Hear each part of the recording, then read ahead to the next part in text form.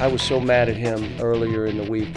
Um, you know, I said things that I haven't said here. I used words I hadn't word used here, and so um, you know, and and the other thing is Darius is starting to play better, and I want to ride him a little bit. I, I think Darius is a big factor in what we're doing. Um, but you know, he went in and helped us, and didn't do much in the second half. But the first half, when we needed to stop the bleeding, he did. Is Johnson back out of your doghouse then? Um, I don't know. We'll see. We'll see. I mean, um, there's guys going in and out of that thing, and um, and you notice in a game, if I'm mad at a guy and I go to sub him, and he steps it up and goes and dunks on somebody or blocks it, what will I do? You guys even watch me when I'm there? I'm hoping you don't. I take the guy that I put in and then bring him back to the bench. I've already done it four times here. I only coached two games. Go in for him. Then he all of a sudden the guy knows he's coming out. He goes harder. He goes and dunks it. Come on back. Let him play a little bit more.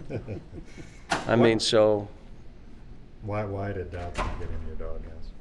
just said we were in practice. He's not doing what I like him to do. And again, you know, the greatest thing we have is the bench. The greatest thing.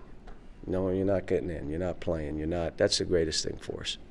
Um, I want to come out and I mean have my motor going early. I mean, usually when the game starts, I, I guess you say I play kind of laid back, which is bad habits from high school. But I mean, I'm just gonna try to come out and have my motor running early. Is that laid back maybe what's led to some of the foul troubles early then?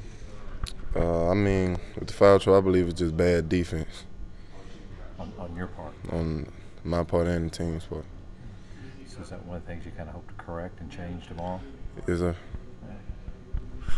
Cal saying to you there? What was Coach saying to you there? It looked like he was really trying to get you going there at the start of it. Um, I mean, he wasn't really chewing me out or anything. I mean, he was just saying I got bad body language right now, and um, I'm not playing the way I should be playing. So when I get in, I need to turn it up, and that's what I did.